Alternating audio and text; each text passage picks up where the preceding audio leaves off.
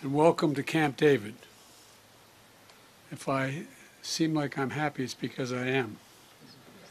This has been a great, great meeting.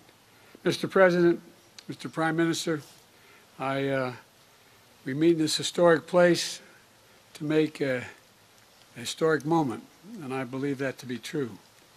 The, uh, this is a new era in partnership between Japan and the Republic of Korea and the United States. Our new Camp David Trilat. That's what we have here. America's commitment to both countries is ironclad, and my personal commitment to bringing these three nations together was real from the very beginning. Since last summer, we've met on the margins of the NATO summit in Spain, the ASEAN summit in Cambodia, and the G7 summit in Japan.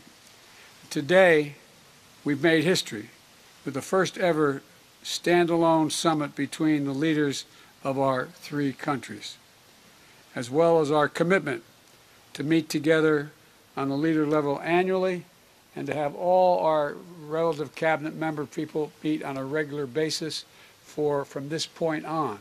Not just this year, not next year, forever. That's the, that's the intention.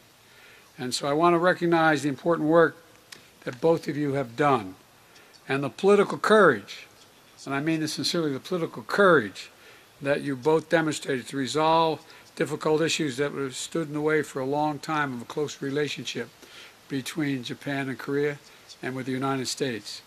Your leadership, with the full support of the United States, has brought us here because each of you understands that our world stands at an inflection point, a point where we're called to lead in new ways, to work together, to stand together.